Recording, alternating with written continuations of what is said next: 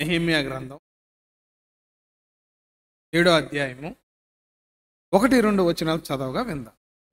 నేను ప్రాకారము కట్టి తలుపులు నిలిపి ద్వారపాలకులను గాయకులను లేవీలను నియమించిన పిమ్మట నా సహోదరుడైన అనా అనాకిని కోటకు అధిపతి అయిన అనన్యాకును ఎరుషులేము పైన అధికారం ఇచ్చి తిని నమ్మకమైన మనుషుడు.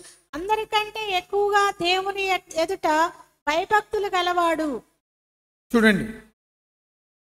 నెహమ్యా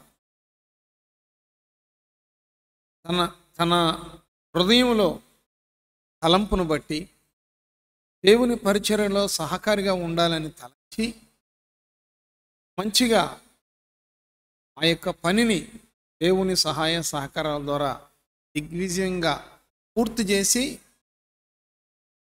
ఆ పని చాలామంది కలిసి చేశారు. చాలామంది కష్టపడ్డారు. దేవుని మహిమకరంగా నిలబడ్డారు.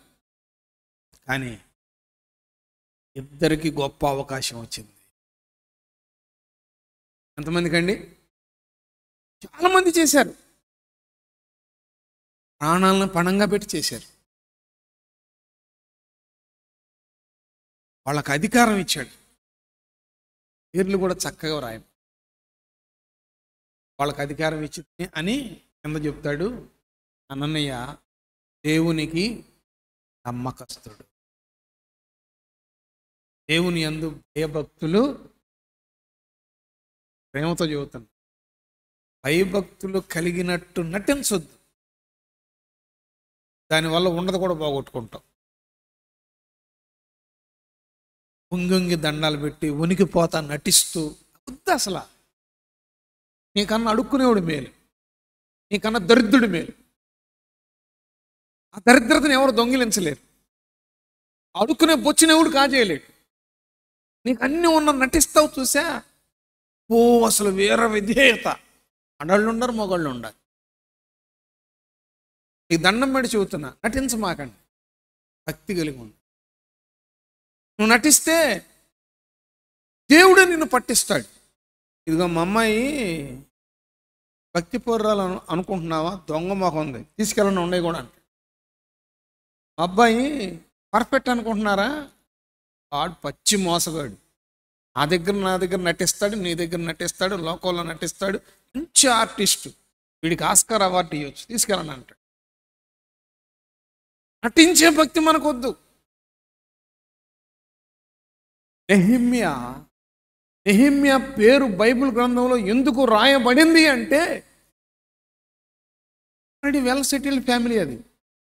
కృష్ణను కోటలో రాజుగారి అనాదాయకుడుగా మంచి పొజిషన్లో ఉన్నాడు. మంచి జాబులో ఉన్నాడు. మంచిగా ఉన్నాడు. అతను మంచిగా ఉన్నాడని బైబిల్ గ్రంథంలో అతని పేరు రాయలా. ఆ మంచి స్థితిని వదిలి ఆ సౌఖ్యాన్ని వదిలి ఆ సౌలభ్యాన్ని విడిచిపెట్టి ప్రజలతో కూడా కష్టపడటానికి దేవుని పని చేయడానికి తనకున్న సౌఖ్యము సౌలభ్యము ఘనత విడిచిపెట్టి ప్రాకారాలు కట్టడానికి వచ్చాడు గనక ఆయన పేరు బైబిల్ గ్రంథంలో అనుమతించబడింది. చెప్పండి కొట్టండి. ఆయనకంటే పెద్ద ఉద్యోగస్తులు ఉన్నారు. ఆయనకంటే గొప్ప ఉద్యోగస్తులు ఉన్నారు. వాళ్ళ పేర్లు రాయలా? నెహమ్యా పేరు కూడా ఉద్యోగస్తులైన రాయలా? దేవుని పనిలో ఇన్వాల్వ్మెంట్ తనకు కలిగిందని విడిచి వచ్చాడు కనుక పేరు అనుమతి. దేవుడు వాడుకున్నాడు. ఆశీర్వదించాడు. అదేవిధంగా నమ్మకమైన వాళ్ళకి ఆ బాధ్యతలు దేవుని యందు భయం కలిగిన వారికి భక్తి కలిగిన వారికి ఆ బాధ్యతలు అదేవిధంగా క్రీస్తునందు నమ్మకంగా ఉంటే దేవుని యందు భయం భక్తి కలిగి ఉంటే ఇదిగో ఈ పరిచర్య నీకు అప్పచెప్పచ్చు ఈ బాధ్యత నీకు అప్పచెప్పచ్చు ఏమి అప్పగించి వెళ్ళిపోయాడు. నువ్వు దేవుని సన్నిధిలో నమ్మకస్తురాలుగా ఉంటే నువ్వు దేవుని సన్నిధిలో నమ్మకస్తుడుగా ఉంటే శ్రేష్టమైన పరిచర్య చేసే భాగ్యం. శ్రేష్టమైన దేవుని పరిచారకుడుగా పరిచారకురాలుగా బోధకుడుగా కాపరిగా యాజకుడుగా నిన్ను ఎంపిక చేసే అవకాశము ఉన్నది. కనుక ఎలా ఉండాలి? నమ్మకస్తులుగా. యోహాన్ రాసిన మూడో పత్రిక. యోహాన్ రాసిన మూడో పత్రిక ఒకటో అధ్యాయం ఒకటి రెండు వచనాలు చదవగా విందాం. పెద్దనైన నేను సత్యమును బట్టి ప్రేమించు ప్రియుడైన గాయునకు శుభమని చెప్పి వ్రాయినది. ప్రియుడా నీ ఆత్మ వర్ధిల్లుచున్న ప్రకారము నీవు అన్ని విషయములలోనూ వర్ధిల్లుచు సౌఖ్యముగా ఉండవలని ప్రార్థించుచున్నాను. యోహనయ్య గాయు భక్తుడు ఇతడు ఆత్మలో అన్ని విషయాల్లో వర్దిలుతున్నాడు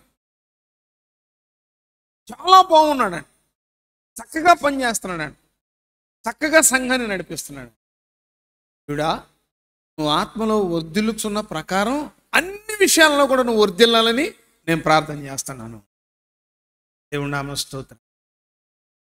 ఇతడు ఆత్మీయంగా బాగా వర్దిలుతున్నాడంట వాక్యం చదవటం ప్రార్థన చేయడం దేవుని పేరట ధర్మకార్యాలు చేయటం దేవుని పేరట మరి చక్కటి మంచి మంచి కార్యక్రమాలకు అటెండ్ అవ్వడం.